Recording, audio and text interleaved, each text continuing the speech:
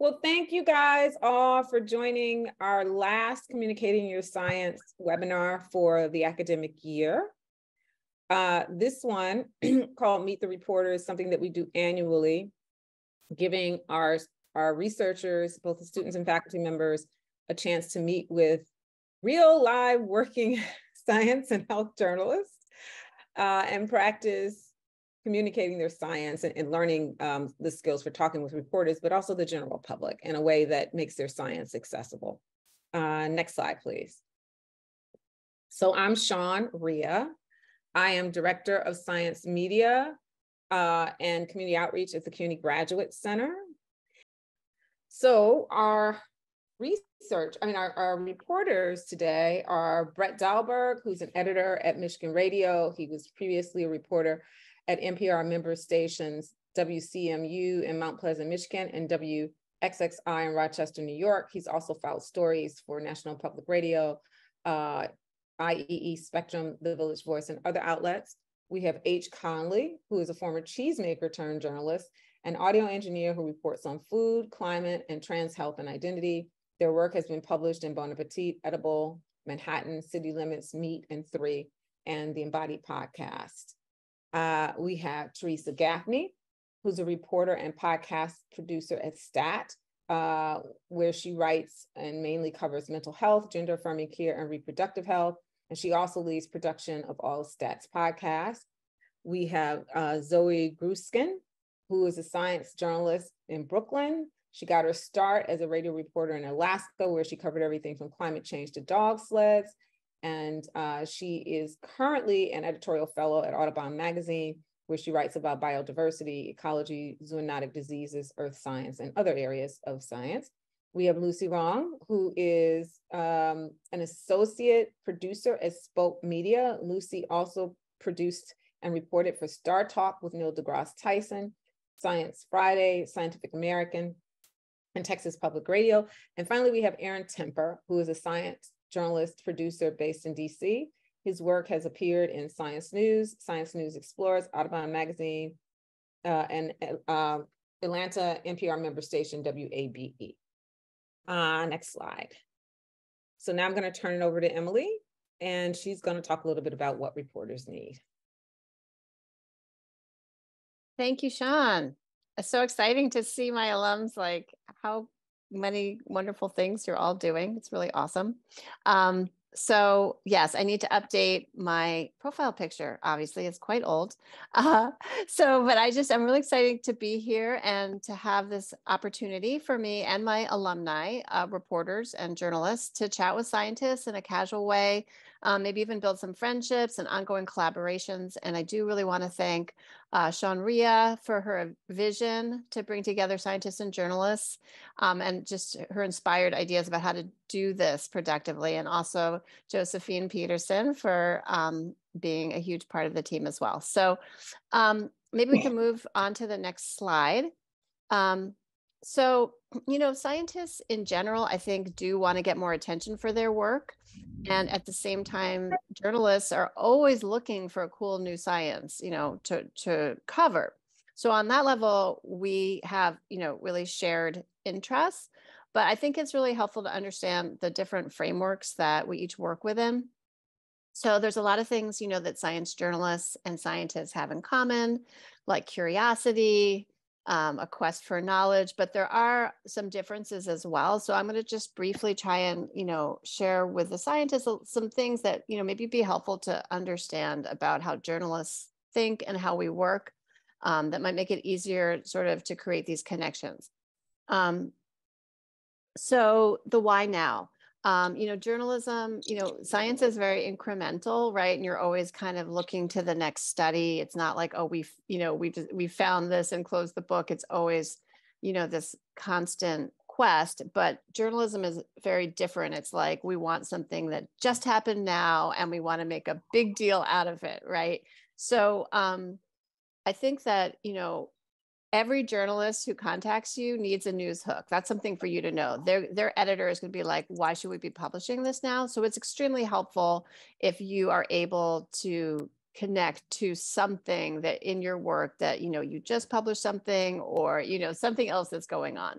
The other thing that journalists always want to know is why it matters. So you know typically scientists may often be hyper focused on you know the very specific thing they're studying but it's really helpful and this is something you can kind of train your brain to do if you're not already doing it to be always kind of contemplating like why would this matter to the general public? Like why would regular people be interested, even if it's not directly like exactly the experiment that you're doing right now, but just the bigger questions that your field is is trying to answer that must you know be relevant in certain ways. So those are just two things to keep in mind. Um, so another thing to know is, um, oh, one more thing I wanted to say about that. So it's great if there are potential applications to your work because you know we love to connect things to the real world but sometimes it's just oh this might change how scientists are understanding something like that's pretty interesting as well. Um, one thing that's really nice is if you're willing to speculate i know not everyone's comfortable with that but scientists who are willing to go a little bit beyond the frame and and think about well what could this lead to or what might this mean? that's always very helpful for a journalist. Um, so another thing when I mentioned about basic questions. So you have to realize that, you know, sometimes you will be talking to a reporter who hasn't done their research and that I'm sure is annoying, but other times they're going to ask you really basic questions, not because they don't know the answers, but because they need to hear it in your words. A lot of times scientists are like, why are you asking me that? You know, didn't you read my paper? So um, just be aware that they're speaking on part of their audience. And so they're asking questions for their story, not necessarily because they don't know the answer. So that's maybe helpful. Um, the other thing, um, and I think Sean's going to touch on this too, is trying to speak in a, an accessible language, you know, in a way that is non-technical because if you don't, they won't really be able to quote you. You know, they'll probably paraphrase what you say, but you know, the the if you can speak and explain stuff in a way that like is is engaging and easy for a regular person to understand that's a big plus. Um, and it's always great to have a metaphor in your pocket. I i'm just going to mention one that um, uh, psychologist mark beeman of northwestern university i interviewed him not too long ago and we were talking about the aha moment you know that moment of, of recognition that happens in the brain. And he said trying to find a creative solution to a problem is like trying to see a dim star at night. You have to kind of look at it out of the corner of your mind. And I really love that. Um, so these are the kinds of things to kind of bounce around in your own minds as you're going about your work. You know, are there any cool metaphors that you could think of? Because journalists love those. Um, another thing to be aware of is, you know, journalists are interested in your experience, you know, not just what you found, but why you went about the work, what was frustrating what you know they're looking for those little stories um, and they want to capture some of your personality. So i know often scientists aren't that comfortable with that because it's very different from how you work as a scientist. So just to be aware of that and they may ask you questions about that but again if you're talking to a journalist about your work and there's a funny story associated with it either how you got into it or some kind of mishap that happened along the way or whatever it is like definitely share that with them even if they don't ask or ask if they would like to hear about it because i think those are the kinds of things that you know make it easier for us to share science with the public. And then a few just like tips that i wanted to add and so this sounds really superficial but um writing grabby study titles um, and and also well, so I'll start with the titles. That's really helpful because often we'll be scanning through like so many study titles looking for something that that catches our eye. And if the title is super super technical, it's less likely that we're going to think it's going to be something that would be interesting to our audience. Same with the abstract. Like in the abstract, if you could just insert a couple of sentences that kind of uh, suggest how this work might um, be interesting to the public, how it might relate to like real life or people's lives that is also the kind of thing that might catch a journalist's eye and they're going to think, hmm, okay. Um, another just quick thing is to reach out before the study is published. A lot of times scientists will reach out to a journalist and say, hey, I just had a study come out this week. You know, do you want to cover it? And for us, sometimes it's still possible, but it's ideal if you let us know once it's been accepted by a journal, but before it comes out. So we have enough time to prepare our story. So, because editors like it when they're not scooped. So, it's ideally our story would appear exactly on the same day that your study gets published. So, that's just something to know and, and, and just have in mind. Also, it says beef up your online faculty page. So, a lot of times we're looking for experts. Um, we might go to the faculty page and it's sometimes people are really specific and it's super helpful if you say here are the questions i'm interested in. Here are the kinds of projects i work on et cetera et cetera so that you can kind of see. Some people are very just schematic and they don't really say and just like i'm a psychologist or whatever. So the more you can kind of like be chatty there and be uh, communicative on your faculty page, that's great. And then of course there are the expert databases that you can register with, especially if you're a woman scientist, a scientist of color. Um, there's a lot of um, places that you can register that people, journalists will go to to look for you. So that's good too. And um, Josephine, if you could mix, move to the next slide. I just wanted to share this thing with you because I thought was so apropos when I saw it recently. So Jennifer Doudna, I don't know if I'm pronouncing her name right, but you know, she was one of the inventors of CRISPR. And, on, and there was this article that Carl Zimmer did on the 10th anniversary of CRISPR, and she it says, looking back, Dr. Doudna wondered if, uh, basically, if if uh, Okay, 10 years ago this week, Jennifer Doudna and her colleagues published the results of a test tube experiment on bacterial genes. When the study came out in 2012, it did not make headline news. In fact, over the next few weeks, it did not make any news at all. Looking back, Dr. Doudna wondered if the oversight had something to do with the wonky title she and her colleagues had chosen for the study. A programmable dual RNA guided DNA endonuclease and adaptive bacterial immunity. Um, so I just thought that she said, I suppose I would have chosen different titles. So I just thought that was a really great example because what has been more like earth shattering in our world practically over the last 10 years in science, but CRISPR. But basically, journalists missed it. Um, and so, again, that's not the only reason, but I do think it's very helpful to have a more um, engaging title for your papers. So, I'm going to leave it at that, but I'm looking forward to this collaborative experience.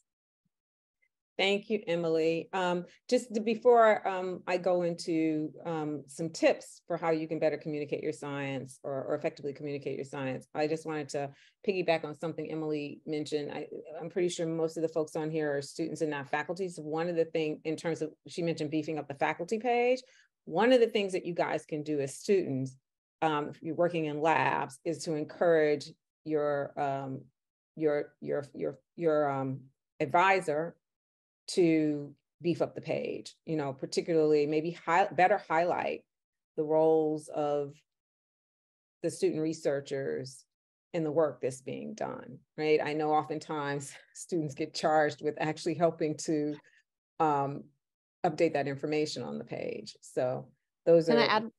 Mm -hmm. Oh, just to back, uh, yeah. to, to, yeah, to amplify that, Sean, because that's a great comment. And I just want to let you know that uh, journalists are very interested, especially you know journalists who are starting out and speaking with PhD students and with postdocs and stuff like that. So it's not like we only want to talk to like the most you know like whatever experienced scientists. It can be so helpful to connect with people who are earlier in their career. So don't feel discouraged on that level. Yeah. Um, so I'm going to talk a little bit about how you can develop some skills to be able to um, talk about science in the way that Emily has so um, nicely outlined. So one of the first important things has to do with language, which I, I, know Emily touched on, but you know, it's really important to use layman's language. And this isn't just in talking with reporters, but this is also, you know, at the dinner table, even I have attended a number of science talks, and I find that even scientists are much more interested when the person doing the presentation is presenting in a way that's very accessible. Um, and so for an example of how you might use layman's language, you know, if you're in biology, the average person doesn't know what a pluripotent cell is, right? So instead you might say something like it's a self-renewing cell that produces almost any type of cell or tissue that the body might need. That's something that everyone pretty much can understand. If you're in uh, physics, for example, the average person does not know what photovoltaics are, and I can never pronounce the word properly anyway, but they do know what solar is, right? And so you can you can you can replace words like that um, in order to make uh, concepts more acceptable, uh, uh, more accessible. And then you can also use short, concise sentences that will help your audience better absorb new concepts. If you cram, cram a bunch of unfamiliar words and new concepts into one or two sentences, people are just going to be overwhelmed and they're going to completely tune out.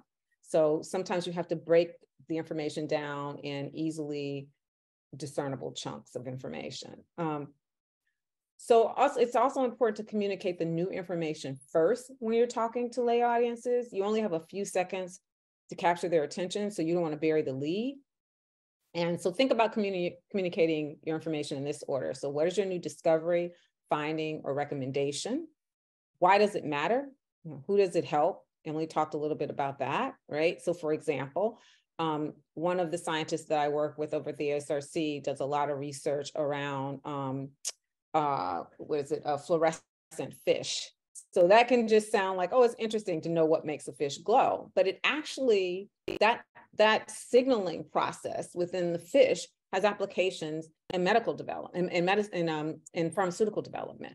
So connecting what seem to be very, you know, esoteric areas of research to what is really practical and useful. So that's what you're looking for and you know why it matters. So uh, and then, you know, develop three kind of solid points that really further explain your research.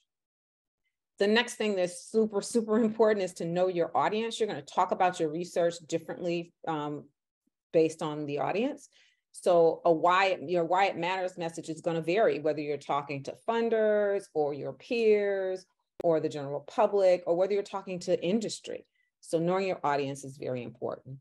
And so this last little um, graphic here, which comes from AAAS, it's, it's really nice um, kind of way to explain the difference between how researchers think uh, and talk about their work compared to how the public actually absorbs information. So as a researcher, often if you're reading a paper, you start with the background, you give you know a whole history of all of the research that really has created the step ladder for where you are right now you give supporting details about how you did the experiment. And then at the end, you have a conversation about the results of the conclusions, right? It's very different. The general public actually wants to know what those results and conclusions are. Okay, what is it that you're talking to me about? And so what? Why is it important? And then finally, those supporting details that help underline all the information and support the facts behind what you're sharing. So um, next slide. So um, uh, Josephine is going to set us up with this this video. Um, I love this series that Wired used to do called Five Levels because it literally has one researcher. I see some people shaking their heads, so some folks are familiar with it, I think. Um, how they explain their research to people, uh, to five different people who have various levels of understanding about research. Uh, everyone from, a, I think, a third grader is the youngest, all the way up to a peer in the field. Um, and uh, we're going to watch this for about 10 minutes. Hi, my name is Talia Gershon, and I'm a scientist at IBM Research. Today, I've been challenged to explain a topic with five levels of increasing complexity. It's a completely different kind of computing called quantum computing. Quantum computers approach solving problems in a fundamentally new way. So, um, I guess we just have a few more minutes. We have about, about five minutes. Um, so before we um, before we wrap up, I just want to find out if anyone has any questions or wants to share any any interesting conversation or learning. Um, yeah. Well, uh, sure, I can I, make oh, a comment. Okay. No, no, okay. I'll I'll go if you don't mind. I'll go first if that's fine. Um, so yeah, thank you again for this experience, and it was really helpful to think about like for myself getting into the details of the discussion of what I'm working on, but to continuously bring that back to a more general sense of what my product is supposed to be or what my theory and my thesis is really supposed to be about. That for me is going to be a product too. And to make sure I continue to have that through way of why, as you said, the research is important and to not only perpetuate it as okay this is what i'm doing this is why i think it's important this is why with what I'm making. It's about what I'm giving, which I got points back from both of the um, reporters I spoke to that that was something that is really focused on too. From it sounds like from a reporter perspective, that that's really what they would like to hear, and that can be helpful as the point of what people want. So that was good. That was really good for me. And then who, who else was it? Uh, uh, Rendra, was it you that was going yes, to? Yes, Yes, uh, I think it's wonderful talking to you and Conley and the Brett. I got really good feedback from them, what I should speak to the reporter in future. And I'm thank you. Great. I think Aaron also wanted to say something. Yeah, I was just gonna add, um, for one of the segments that I write, um, you know, I look for early STEM professionals, um, which means I'm combing through videos and Twitter for a presence online. So I just highly recommend, especially if you're a younger audience, if you're looking to get your work out there, kind of making yourself visible online in some way that's comfortable for you. Because there have been some people that have done awesome work that I've had to pass because I couldn't tell if they were a great speaker or if they I could actually contact them because they just didn't have any of that online. So if you're really looking to make yourself visible and reachable, I'd highly recommend that. So Aaron, are there any particular platforms that you really tend to uh, peruse for STEM presence? You know, for yeah. Yeah, despite the climate of it right now, I am on Twitter um, because it does have such, you know, it has built such a uh, large audience. And I'm finding a lot of folks aren't, some are leaving, some are not. You know, it's controversial, but I am on Twitter, but I'm on Twitter to find their links. So I also look at YouTube if they've done, doesn't have to be a TED Talk, but if they've done a TED Talk, um, I could really see how they speak with an audience.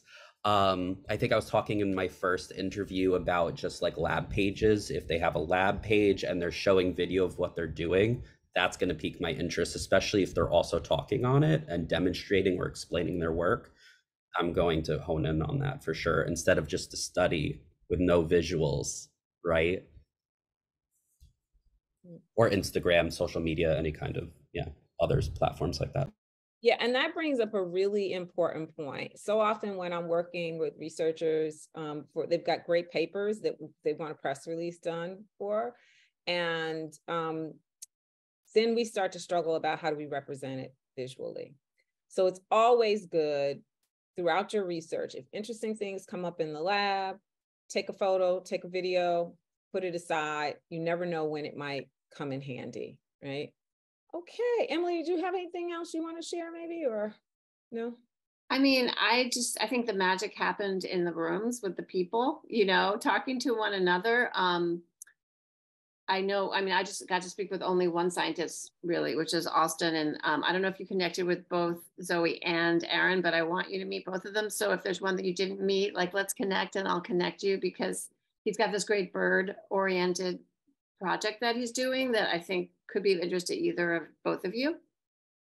And same for you. Thank you for that, Emily. Thank you. Yeah, and, and same for you, Katie, because I know that you're working with birds as well. oh yeah, okay, yeah. See, I don't know a little bit. I don't know a lot about every, what everyone's doing, but yes, I mean, I just love this idea that we're connecting more, and I hope that some of these relationships will continue. And I think for us as journalists, it's so great to have a scientist that you can just call up, you feel comfortable with, mm-hmm. and you can say, "Hey, can you connect me?" or "Can you look this over?" Um, and I would think it would be the same for scientists, right? To just feel like you can like connect with a journalist and like, you know, share what your work is and, you know, just bad ideas around. So um, I just love that we're doing this and continuing to do it. Okay, well, we're going to end right on time then. Um, thank you all. And um, I hope everyone gained a little bit of something uh, from, uh, oh, Zoe said she got to talk to both. Uh, okay, That's great. Awesome. Okay, great. You guys have a wonderful weekend. Before you Thanks, jump everyone. Thanks for your time. Wait, wait, wait. Hold on one second. Go sorry, ahead. sorry. Just keep an eye out for an email from me with um, just a very short evaluation about the program today. Great. Thank, Thank you all. Thanks, everybody. Great to see you. Bye. Bye.